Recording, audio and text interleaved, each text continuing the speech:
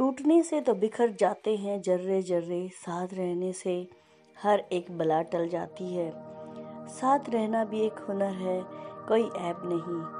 Hello everyone welcome to the channel Adrinika आज राष्ट्रीय एकता दिवस है। एकता देती है समाज को शक्ति, इसके द्वारा हम प्राप्त कर सकते हैं अपने अधिकारों की अभिव्यक्ति। आप सबको एकता दिवस की शुभकामनाएँ। आज 31 अक्टूबर को सरदार वल्लभ भाई पटेल जी की जयंती है और उनका जन्मदिन हर साल राष्ट्रीय एकता दिवस के रूप में मनाया जाता है। इस अवसर पर आइए हम उनके बारे में कुछ जानें। सरदार पटेल भारत के पहले गृह मंत्री थे। उनका पूरा नाम वल्लभ भाई जावेद भाई पटेल था। उनका जन्म 31 अक्टूबर 1875 में नाडियाड में गुजरात में हुआ था और उनकी मृत्यु 15 दिसंबर 1950 को बम्बई में पिचहत्तर वर्ष की उम्र में हुई थी। सरदार वल्लभ भाई पटेल के बारे में एक छोटी सी कविता हम आपसे साझा करना चाह रहे हैं। लो पुरुष की ऐसी छवि न देखी, न सोची कभी। आवाज़ में सिंह सी धार थी, हृदय में कोमलता की पुकार थी। गरीबों का सरदार था वो, दुश्मनों के लिए लोहा था वो। आंधी की तरह बहता गया, ज्वालामुखी सा धधकता गया। बनकर गांधी का अहिंसा का शस्त्र महकता गया विश्व में, जैसे कोई ब्रह्मस्त्र। इतिहास के गलियारे खोजते हैं जिन्हें, इतिहास के गलियारे खोजते हैं जिन्हें, ऐसे सरदार पटेल अब ना मिले पूरे विश्व में। हम उनके बारे में जाने, उनके जीवन के बारे में झांके? तो हम यही कहेंगे कि मनुष्य महान बनकर कभी पैदा नहीं होता, बल्कि हार्ड वर्क और परिश्रम से ही महान बनते हैं। उनकी प्राथमिक शिक्षा करमसद गाँव में हुई और उन्होंने आगे की पढ़ाई पेटलाद के स्कूल में की। की अठारह में मैट्रिक परीक्षा नडियाद से की, इसके बाद वकालत की पढ़ाई की और गोदरा से वकालत शुरू की। 1902 में बोरसद में वकालत शुरू किया। 1910 में कानून की पढ़ाई के लिए वो इंग्लैंड गए और वहाँ उन्होंने मिडल टेंपल में ला की पढ़ाई की और उन्होंने उस कॉलेज में टॉप किया।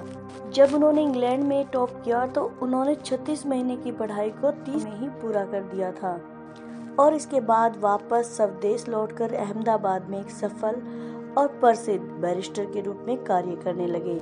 अब वो इतने दिनों में इंग्लैंड से वापस आए थे तो उनकी चाल ढाल बदल चुकी थी, वे सूट बूट, यूरोपियन स्टाइल में कपड़े पहनने लगे थे। इनका सपना था कि वे बहुत पैसे कमाएँ और बच्चों को एक अच्छा भविष्य दें, लेकिन नियति को कुछ और ही मंजूर था। वो गांधी जी के विचारों से इतने प्रभावित हुए कि उन्होंने सामाजिक बुराइयों के खिलाफ अपनी आवाज़ उठानी शुरू कर दी। भाषण के ज़रिए लोगों को एकत्रित किया। इस प्रकार रुचि न होते हुए भी धीरे धीरे सक्रिय राजनीति का हिस्सा बनते चले गए। और 16 साल की उम्र में उनकी शादी जावेद बाई से हो गई थी। गांधी जी की अहिंसा की नीति से वे इतने प्रभावित हुए कि उनके कार्यों में गांधी जी की अमीर छाप दिखाई देने लगी। इसलिए स्वतंत्रता के लिए किए गए सभी आंदोलन, जैसे असहयोग आंदोलन, स्वराज आंदोलन, डांडी यात्रा भारत छोड़ो यात्रा, इन सभी में सरदार पटेल की भूमिका अहम होने लगी थी। बात 1923 की है जब गांधी जी जेल में थे, तब इन्होंने नागपुर में सत्याग्रह आंदोलन का नेतृत्व किया। वे अलग अलग प्रांतों में लोगों को इकट्ठा करके मोर्चा निकालने लगे। इन मोर्चों के कारण अंग्रेज़ी सरकार को झुकना पड़ा और उन्होंने कई कैदियों को जेल से रिहा किया। इनकी वाक शक्ति ही इनकी सबसे बड़ी ताकत थी, जिस कारण उन्होंने देश के लोगों को संगठित किया और इनके प्रभाव के कारण ही एक आवाज़ पर आवाम इनके साथ हो चलती थी। गुजरात के रहनवासी वल्लभ भाई पटेल ने सबसे पहले अपने स्थानीय क्षेत्रों में शराब, छुआछूत एवं नारियों के अत्याचार के खिलाफ लड़ाई लड़ी। इन्होंने हिंदू, मुस्लिम एकता को बनाए रखने की जोरदार कोशिश की थी। है बात 1917 की है, जब गांधी जी ने वल्लभ भाई पटेल से कहा कि वे खेड़ा के किसानों को एकत्रित करें और उन्हें अंग्रेज़ों के खिलाफ आवाज़ उठाने के लिए प्रेरित करें। उन दिनों बस कृषि ही भारत का सबसे बड़ा आय का साधन था। कृषि हमेशा ही प्रकृति पर निर्भर रहती आई है। वैसे ही कुछ उन दिनों भी हुआ और उन दिनों प्रकृति ने करवट ली और जब बहुत ज़्यादा बारिश के कारण किसानों की फ़सल नष्ट हो गई थी, फिर भी अंग्रेज़ी हुकूमत कर की वसूली किसानों से कर रहे थे। इस विवाद को देख वल्लभ भाई पटेल ने गांधी जी के साथ मिलकर किसानों को कर न देने के लिए बाध्य किया और अंत में अंग्रेज़ी हुकूमत को हाँ भरनी पड़ी और यह सरदार पटेल की सबसे पहली और सबसे बड़ी जीत थी, जिसे खेड़ा आंदोलन के नाम से याद किया जाता है। उन्होंने गांधी जी के हर आंदोलन में उनका साथ दिया इन्होंने और इनके पूरे परिवार ने अंग्रेज़ी कपड़ों का बहिष्कार किया और खादी को अपनाया। अब बात करते हैं कि इन्हें सरदार कब से कहा जाने लगा। बात 1928 की है, जब साइमन कमीशन भारत आया था। इस बुलंद आवाजी नेता वल्लभ भाई पटेल ने बारडोली में सत्याग्रह का नेतृत्व किया। यह सत्याग्रह 1928 में साइमन कमीशन के खिलाफ किया गया था। इसमें सरकार द्वारा बढ़ाए गए कर का विरोध किया गया और किसान भाइयों को एक देखकर ब्रिटिश वायसराय को झुकना पड़ा और कर माफ़ करना पड़ा। इस आंदोलन में औरतों ने बढ़ चढ़कर भाग लिया था। इस आंदोलन की सफलता के कारण वहाँ की महिलाओं ने उन्हें सरदार की उपाधि दी और वो उन्हें सरदार कहकर बुलाने लगे, जिसके कारण उन्हें सरदार पटेल के नाम से ख्याति मिली। अब हम बात करते हैं कि उनकी लौह पुरुष की उन्हें लौह पुरुष क्यों कहा जाता है? पटेल जी के बारे में यह किस्सा बहुत ही प्रचलित है। कहा जाता है कि बचपन में उन्हें खेलते वक्त एक घाव हो गया था।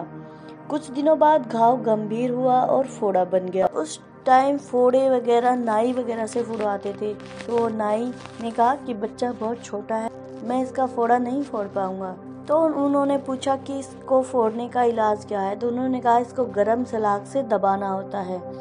तो एक दिन उन्होंने गरम सलाख से खुद ही फोड़ा, खत्म कर ली। उनमें गजब की सहन शक्ति थी। जब उन्हें भारत का पहला गृह मंत्री बनाया गया तो उनके सामने सबसे बड़ी समस्या यही थी कि भारत को एकीकरण कैसे किया जाए।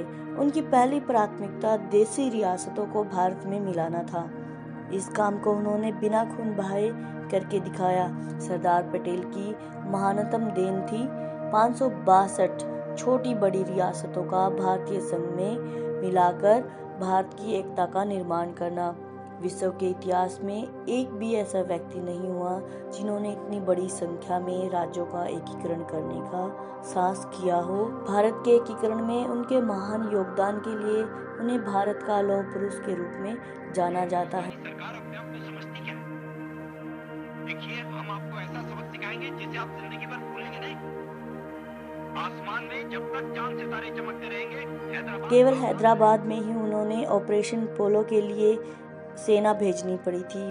गुजरात में नर्मदा के सरदार सरोवर बाँध के सामने सरदार वल्लभ भाई पटेल की एक सौ बयासी मीटर ऊँची लोहे की प्रतिमा का निर्माण किया गया है और इस मूर्ति को स्टैचू ऑफ़ यूनिटी का नाम दिया गया है।